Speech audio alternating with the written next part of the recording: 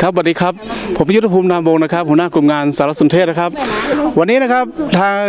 สารสนเทศนะครับ ได้มาที่บ้านสันปุเลยหมู่ที่ 8ตำบลอ่างทองอำเภอเชียงคำจังหวัดพะเยาครับ มาที่นี่นะครับ พี่น้องชาวไทยลื้อนะครับ ต้อนรับอย่างอบอุ่นนะครับ ครับวันนี้ทางพวกผมนะครับได้มาจะทำสารสนเทศเกี่ยวกับเรื่องราวของหมู่บ้านไทยลื้อบ้านสันปุเลยแห่งนี้นะครับ เนื่องจากว่า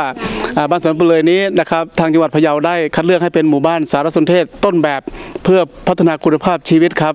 วันนี้พวกผมได้มาเก็บข้อมูลนะครับ และก็มาทำเรื่องราวเกี่ยวกับไทลื้อบ้านสันปุเลยนะครับ ซึ่งบ้านไทลื้อ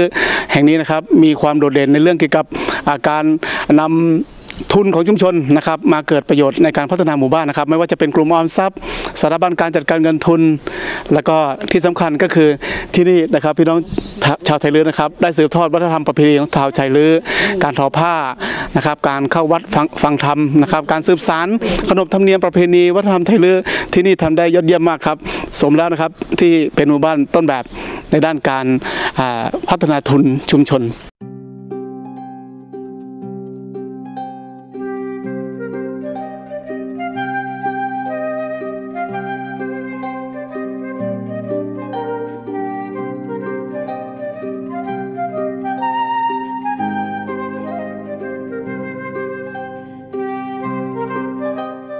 ประวัติความเป็นมาของหมู่บ้านสันปุเลยนะครับ เมื่อพศ 2452 นะครับ โดยมีนายตาคำนะครับมาจากตำบลยวนนะครับได้ปลาเปื่อนมาหกเจ็ดคนมาเพื่อเลี้ยงควายนะครับ เมื่อมาดูสภาพแล้วเห็นสภาพพื้นที่มันอุดมสมบูรณ์โดยต้นไม้ป่าไม้นะครับหรือว่าน้ำ เหมาะสำหรับที่จะเลี้ยงวัวเลี้ยงควายนะครับ ดังนั้นก็จึงไปพาพวกมาเลี้ยงวัวเลี้ยงควายที่นี่นะครับ ได้พาพวกมามาอยู่ในหมู่บ้านสันปุเลยนี้นะครับ เมื่อปี 2553 นะครับ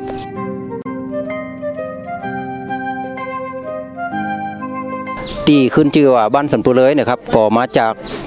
เนื่องจากบ้านบ้านนี่เปิ่นมีมีว่านปูเลยอยู่นะครับ เมื่อก่อนมันจะตั้งอยู่โจโก้พุ่นนะครับเป็นเป็นสัน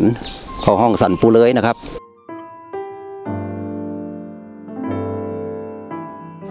กว่าจะมาเป็นบ้านสันปูเลย เมื่อพุทธศักราช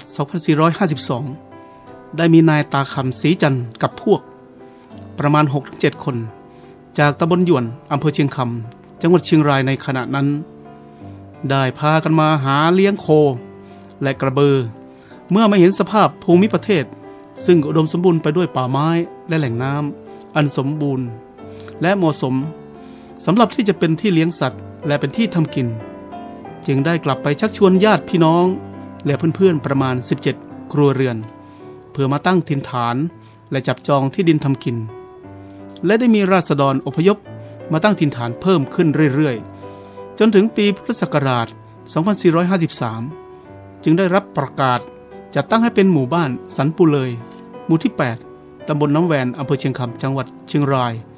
ซึ่งมีจำนวนครัวเรือนเริ่มก่อตั้งทั้งสิ้น 28 ครัวเรือน และมีนายตาคำศรีจันทร์ได้เป็นผู้ใหญ่บ้านคนแรก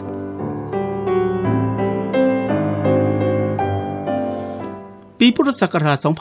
2520 จังหวัดพะเยา แยกจากจังหวัดเชียงราย เมื่อวันที่ 1 สิงหาคม 2526 บ้านสันปูเลย ได้โอนขึ้นกับตำบลอ่างทองอำเภอเชียงคำจังหวัดพะเยา จนถึงปัจจุบัน ตามประกาศกระทรวงมหาดไทย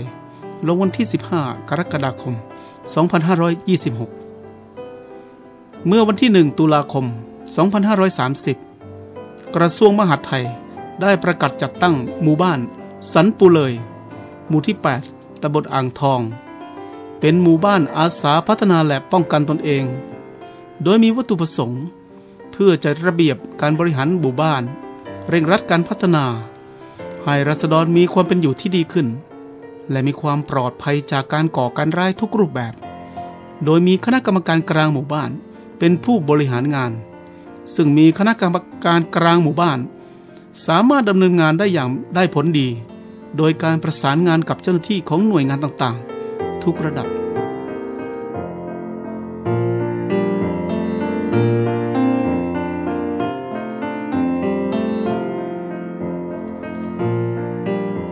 บ้านสันปุเลยอยู่ทิศตะวันตกของอำเภอเชียงคำจังหวัดพะเยา ห่างจากอำเภอเชียงคำเป็นระยะทางโดยประมาณ 16 กิโลเมตร มีประชากรทั้งหมด 564 คน แยกเป็นชาย 278 คน หญิง 286 คน จำนวนครัวเรือนทั้งสิ้น 183 ครัวเรือน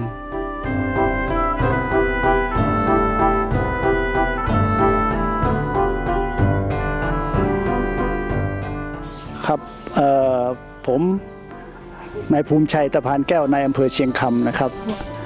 สำหรับบ้านสันปุเรยเนี่ยผมได้มีความมีกิจกรรมในส่วนร่วมกับหลายครั้งและมาเป็นประจำและมีความภาคภูมิใจในพี่น้องชาวสันปุเรยซึ่งเป็นหมู่บ้านชุมชนไทยลื้อเพราะอำเภอเชียงคำเนี่ยส่วนใหญ่แล้วก็เป็นไทยลื้อหมู่บ้านสันปุเลยก็เป็นบ้านหนึ่งที่เป็นไทยลื้อ ที่คงรักษาวัฒนธรรมประเพณีอันดีสืบต่อกันมาเป็นเวลายาวนาน สิ่งที่ภาคภูมิใจหมู่บ้านสันปุเลยเนี่ยเพราะมีผลงานดีเด่นหลาย ๆ ด้าน ทางด้านยาเสพติดเนี่ยก็เป็นหมู่บ้านที่กองทุนแม่ เชื่อได้เลยว่าเป็นหมู่บ้านที่ปลอดผู้เสพร้อยเปอร์เซ็นต์นะครับก็มีการส่งเสริมสนับสนุนในการดำเนินกิจกรรมมาอย่างต่ต่อเนื่อง ความเข้มแข็งของชุมชน และเป็นหมู่บ้านเศรษฐกิจพอเพียงที่ได้รับรางวัลนะครับ นอกจากนี้แล้วหมู่บ้านสันปุเรยก็ยังเป็นสถาบันทางการเงินที่เข้มแข็ง มีการตั้งธนาคารหมู่บ้านขึ้นมา และมีกิจกรรมต่างๆที่แล้วก็ได้ร่วมกับทางพัฒนาชุมชนเนี่ยผมสนับสนุนงบประมาณ 50,000 บาท ลงมาจัดทำโครงการ ABC ลงในหมู่บ้านเพื่อที่จะเป็นหมู่บ้านที่แบบอย่างต้นแบบของ การพัฒนานะครับเพราะฉะนั้นหมู่บ้านสันพูเลยนี่ถือว่าเป็นหมู่บ้านที่สมควรได้รับการยกย่องและชมเชย ได้รับรางวัลหลายหลายรางวัลต่อหลายรางวัลนะครับ เพราะฉะนั้นก็ถือว่าเป็นความเข้มแข็งของพี่น้องประชาชนชาวบ้านสันปุเลยอย่างยิ่ง